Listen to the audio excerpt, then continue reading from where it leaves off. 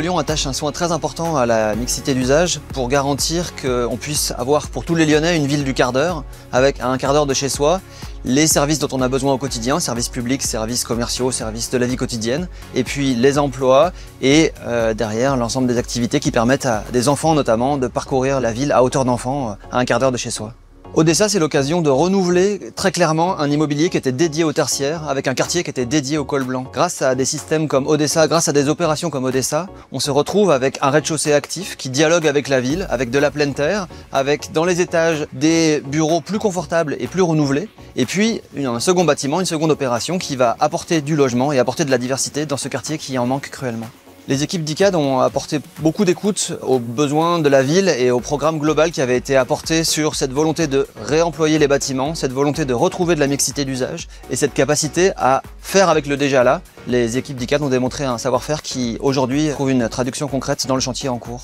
C'est fondamental quand on est adjoint à la ville abordable, bas carbone et désirable d'avoir un relais auprès des acteurs privés avoir des acteurs qui soient à l'écoute et qui soient en mesure de faire cette ville concrètement et d'avoir des exemples démonstrateurs, d'avoir des projets qui derrière puissent inspirer d'autres acteurs pour que la ville soit durablement en transition.